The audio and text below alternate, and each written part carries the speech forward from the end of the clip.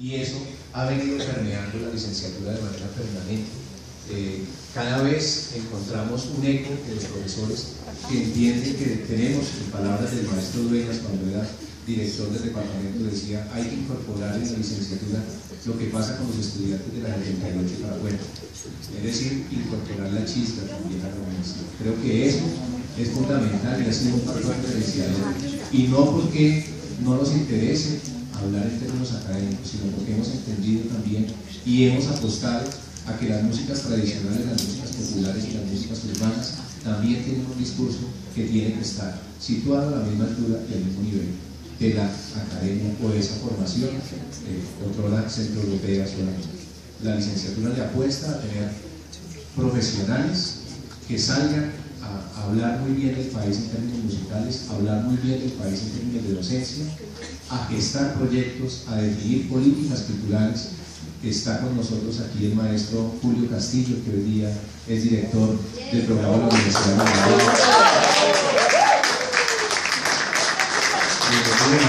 Y, y, y quizá ha sido el brazo de la Universidad Pedagógica también extendido hacia la costa y con él empieza junto con las hermanas Humaqué que están haciéndole eco también a lo que, a lo que se viene haciendo. Si vamos hacia, es decir, esa, esa georreferenciación creo que la podemos hacer claramente en todo el país. Hace cuatro meses tal vez se nos graduaron los dos músicos de Leticia. Finalmente, dijo el grado, la Universidad Pedagógica finalmente graduó a Pedro Bernal y Fernando Picón, dos músicos que vienen jugándosela por el país desde Leticia a través del proyecto de Colombia Creativa. Si situamos esa misma mirada, claro, el maestro Alfonso Dávila, por supuesto, y el maestro eh, Pacho Vela y eh, de Leticia estaba también eh, de la época de Victoriano Valencia, Héctor Gómez. Héctor López también, que es leticiano. Y con esa misma mirada pues podemos empezar a ver el país y casi que en cada uno de los rincones del país siempre habrá egresado de la licenciatura y llevando ese legado, construyendo país, construyendo música y, por, situando las discusiones de la educación musical. Trabajamos nosotros en procura de tener un profesional egresado de la licenciatura, vuelvo y cito al maestro Dueñas, que no sea el que entretiene solamente en los colegios o en las instituciones, sino que tiene un pensamiento realmente armado, un pensamiento crítico frente a la educación y que tiene algo que decir en las reuniones. Generalmente pasa, y eso no es caricatura, sino que pasa mucho en los colegios, en donde hay reuniones de profesores, el profesor de música se queda cuidando a los estudiantes, como si el profesor de música no tuviera algo que aportar, Hemos venido trabajando muy fuerte a través de el proceso de renovación que se dio, y aquí empiezo a hablar de lo que es la licenciatura en los últimos 10 años, eh, un proceso de renovación que empezó en el año 90 2008, 2006, 2007, 2006, a través de la universidad, a, partir de un acuerdo, el acuerdo 035, que sitúa a toda la universidad en un proceso de renovación y desde ahí la facultad de pleno hace todo un proyecto de articulación pedagógica en donde le dan una especial importancia a los seminarios pedagógicos y a las miradas interdisciplinares. La preocupación por la, la, formación en los estudiantes de los discursos artísticos, de que tengan algo que producir, no solamente de lo musical, sino también de lo escritural, desde, desde el pensamiento, como, ya lo he dicho, desde la mm, posibilidad de escribir y, de, y de, de, ver de manera crítica las políticas educativas en arte del país. Esa mirada es una mirada transversal a toda la facultad. Ya lo decía el decano, estamos trabajando desde hace unos 10 años en, construir en nuestros estudiantes y egresados esa posibilidad de ser líderes en políticas, líderes en, gestión, pero también grandes músicos. Desde hace muchos años, hace ocho días casualmente estábamos celebrando a, propósito de uno de los eventos que hacemos aquí en la licenciatura por segunda vez, se llama Diálogos con la Bandola, el segundo encuentro, el instrumento, el instrumento de se llama así el eslogan de, nuestro, de nuestro evento. Este año celebramos, eh, a propósito de la bandola, celebramos un encuentro con estudiantinas y felizmente coincidió con los 30 años de Nogal Conjunto de Fuertes. Hicimos un concierto hace ocho días, que generó igual una, una, revolución, si se quiere, en las redes de, de, lo que era la expectativa de volver a escuchar a Nogal, que en lo musical desde el año 87 dejó una gran marca en quienes nos hemos dedicado a la música Marcó una gran diferencia y una, casi que un quiebre en la manera de interpretar, en la manera de concebir la música colombiana. Y eso fue obra del maestro Fernando León, quien debería estar sentado le pondremos su falla correspondiente y su llamado a atención, que se entienda con el maestro Alejandro Martínez.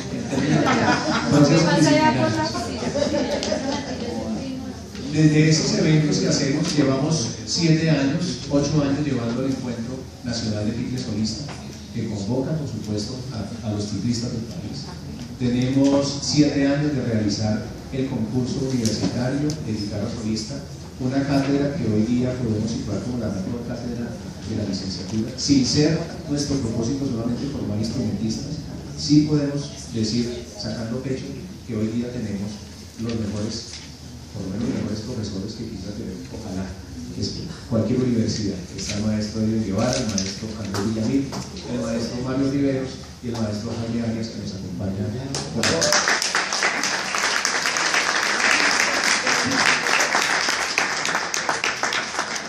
Como un reconocimiento, eh, informarles y contarles que en la versión pasada del concurso de Internacional de Compensar, de, de guitarra, nuestro ganador fue Fabián, que se encuentra aquí con nosotros.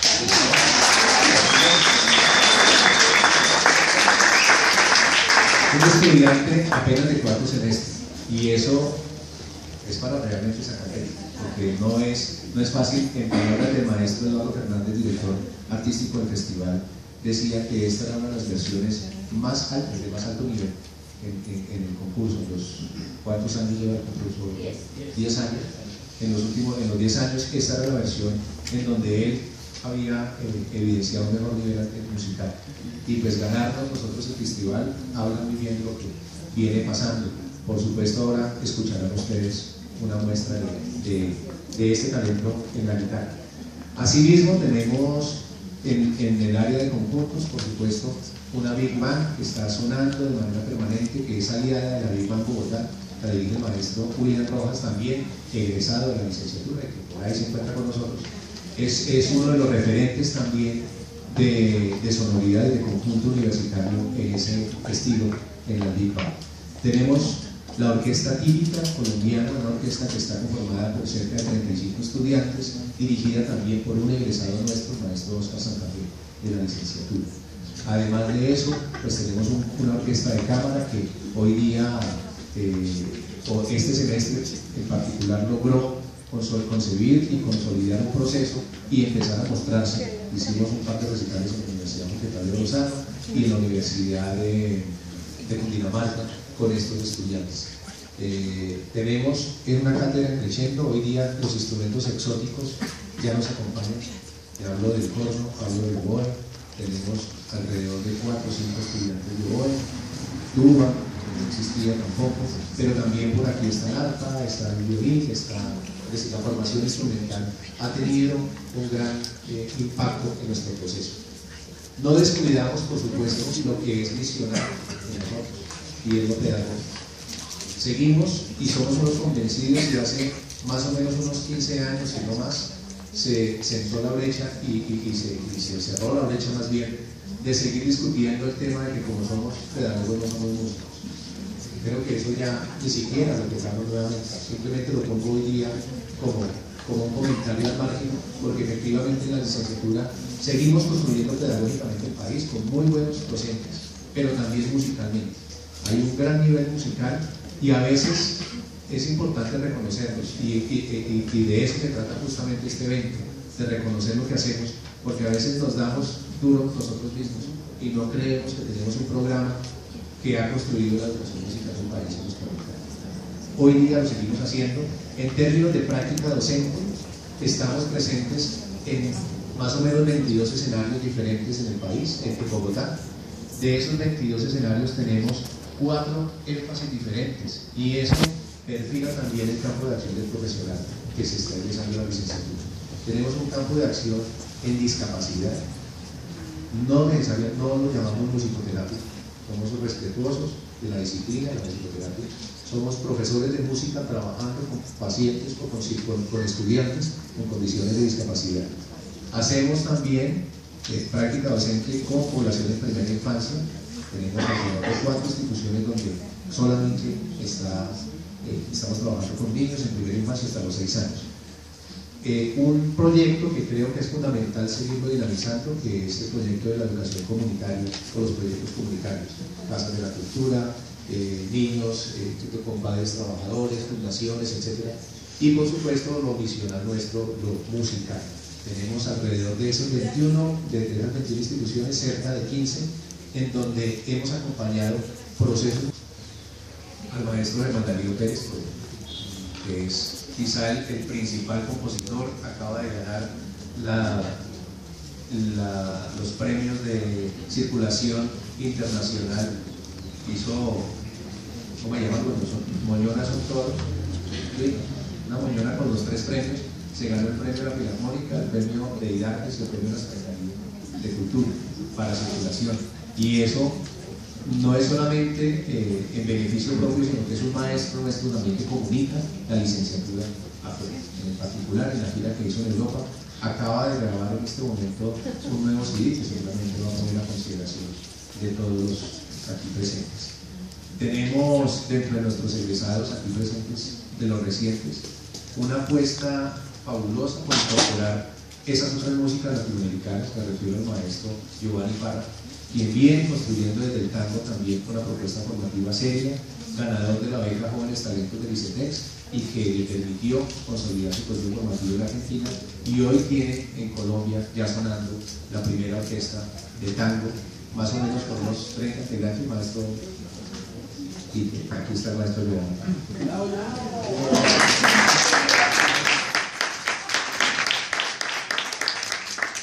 Y así pudiéramos seguir destacando, por supuesto, cada una de las agrupaciones, simplemente es contarles que la universidad ha seguido persistiendo en formar músicos para el país, músicos sensibles que, comprendan las lógicas, que comprendan los contextos, que no lleguen a, trabajar solamente eh, repitiendo el tema de así como mencionan así en centros, sino realmente innovando y construyendo la educación en, cada uno de los sitios en donde están.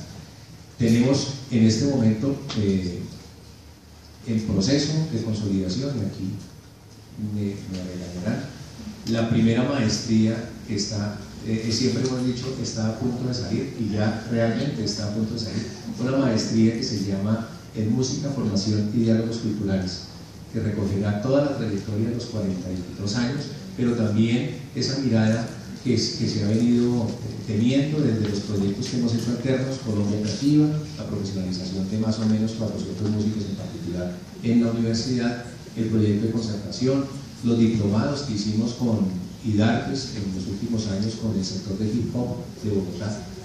ha sido interesante también que la universidad sea la pega de, entender que hay también en este sector cultural hay procesos formativos que construyen ciudadanía y que construyen juventud.